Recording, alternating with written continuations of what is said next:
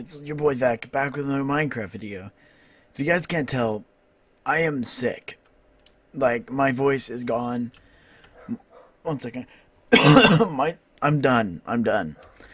Um just recently I've been getting a lot of support from you guys. Um I'll put my stats up on the screen if I could find them.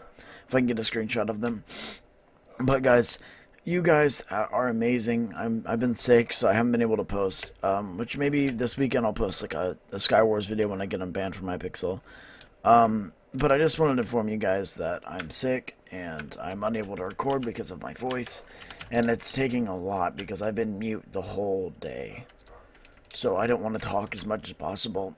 Um, it's been a pretty big struggle with this whole thing, but I'm on Custom Realms right now. If you guys don't know what Custom Realms is, um, the server will be down in the description. It's not out yet. I'm the owner of the server. Um, and it will be out as soon as I can um, get everything finished when it comes to plugins and also everything finished when it comes to the server in general. We're going to have Prison. Um, it's going to be Prison, Skyblock, uh, a PvP thing, kind of like Bad Lion. Um, it's just going to have those. Uh, it's going to have factions and then our custom RPG um, if you guys aren't following us on Twitter, it is at Custom Realms. Um, you get updates when the server is not in maintenance and when it gets posted, when there's giveaways.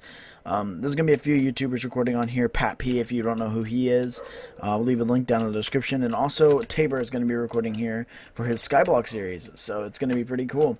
Um, everything is custom built, um, either by us or by our builder. Um, and yeah, so I hope you guys enjoyed the video. If you guys did, make sure to leave a like. And can we reach seven likes this video and maybe a get well for me. Um, so yeah, I hope you guys enjoyed the video and I'll peace off.